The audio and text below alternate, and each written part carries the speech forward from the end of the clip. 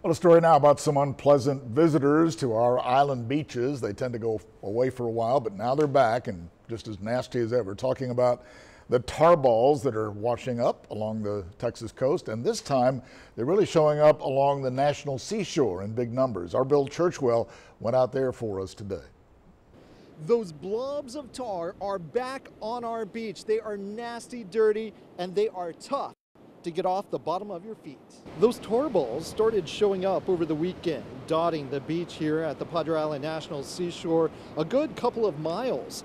Usually they are pretty hard, but these are soft. It tends to come in and it'll vary from dime size to quarter size to you know the size of your hand. Park educator William Botts says this seems to be a mild case.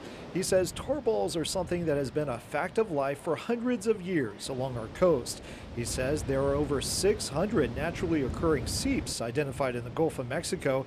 And check this out they emit somewhere on average of 3,000 barrels of oil a day. And unfortunately for us, just like the currents funnel the trash in, a lot of that comes to us too. Oil-based products, I'm told, are best to use to try and remove them from your skin and your feet. We're talking about things like baby oil and uh, even butter that you can use, I'm told.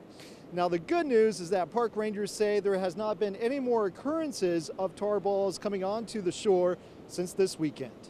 Reporting from the Padre Island National Seashore, I'm Bill Churchwell, 3 News. Bill. Didn't know about the butter solution, but I guess that works too.